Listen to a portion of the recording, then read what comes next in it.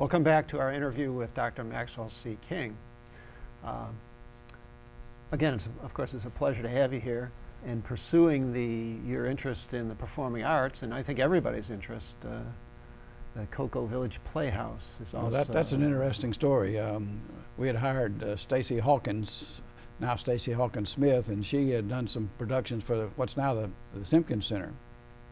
And uh, the city of Cocoa had an old theater that had been closed for over 20 years. It was a movie theater. And they came to me one day and I talked to them and uh, I agreed to give them a dollar for the college taking over the theater for 99 years. And then of course we had to restore it. And then Stacy's now down there doing a great job of bringing local performance mm -hmm. to mm-hmm. the community. I'm amazed. I go to every show and uh, they have young people, middle-aged people, and senior citizens all mm -hmm. performing and doing a great job, and it's uh, it's great there. One other thing I must add, uh, since like word got out about me be having interest in the performing arts, the my people in my old hometown of Fort Pierce had a theater there called the Sunrise Theater, and they asked me to come down and uh, help them raise money to restore the Sunrise Theater, and which we've done. It's now the Sunrise Theater of, for Performing Arts in Fort Pierce, and they bring in a lot of great shows there. Mm -hmm.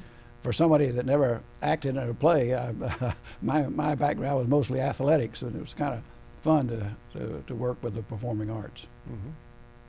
Well, speaking of athletics, one of the things that is interesting to me is you, you were the leading scorer in the state of Florida uh, when you were still in high school. I was in high right? school. I was a junior in high school and um, in eight games scored 144 points, which was great.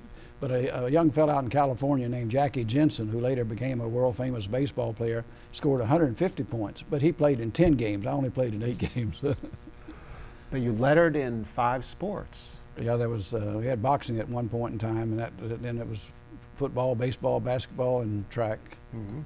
and uh, a little bit of boxing. now, just out of interest, uh, do you do something now to keep yourself? I, am a golfer, fit? and I, I, go to the fitness center about three times a week. You do. Walk in the morning with my wife. Mm -hmm. Got to keep moving. I got to keep busy. Mm -hmm. The mm-hmm. worst thing in the world is having nothing to do. Mm-hmm. Well, now that that especially interests me you, you obviously been very active since you left the community college as president with your volunteer activities. Uh, and you, it seems to me that you must have had a series of goals that you wanted to accomplish in that time. Well, really, uh, just helping people in the community. The, the organizations I work with, the Boys and Girls Club, mm -hmm. They help a lot of needy kids throughout the area. The Salvation Army helps a lot of people at, at, all times of the year. The, the Children's Advocacy Society helps a lot of kids that have fam families have got in uh, legal problems and so forth. Mm -hmm. And these are all organizations to help young people uh, do better with their lives. Mm -hmm. And I'm, I'm, I'm an advocate of that. Yeah, congratulations on your, your work in that area. What about as you go along? Um, you know, you you look pretty uh, healthy to me, even though you're 81 years old. Well, I, I, jumped out of the airplane when I was 80. Did you? Yeah, uh, my, but my granddaughter and, and one of my sons went ahead of me, so they showed me the way. Yeah. uh, George, uh, George, Bush Sr. did the same thing, but I wasn't following him. I was following my granddaughter. Yeah, good for you. Well, do you have any additional goals? You, are you going to continue the way that you've well, been? just keep busy helping the community. Uh, mm -hmm. That's that's my nature, and mm -hmm. I've got to get up in the morning and put on my tie and go help raise money to yeah, help people. Yeah. Always the tie. I was going to wear one today, but I decided not to. Um, well, I'm pleased to hear that you know you uh, have things that you still want to accomplish. I I also you know have things that I'd I'd like to. Uh, uh, without a goal, I it just I'm not motivated. So. Well, I think uh, a lot of people look on retirement as uh, as something they they are dreaming of. But then if, if you're like I am with my personality, I've got to be kept, kept moving. So retiring was not, uh, doing nothing is not what retirement's all about for me. I, you've got to get out and help people and help yourselves. Absolutely. Well, uh, it's been a pleasure having you here. You're not going to ask me about CCID? The CCID, your interest in international education, I think we could start really quickly. I think we're running out of time, but oh, okay. please. Well, re real quick, uh, the organization that Brevard Community College was a leader in the in the world in starting community colleges for international development.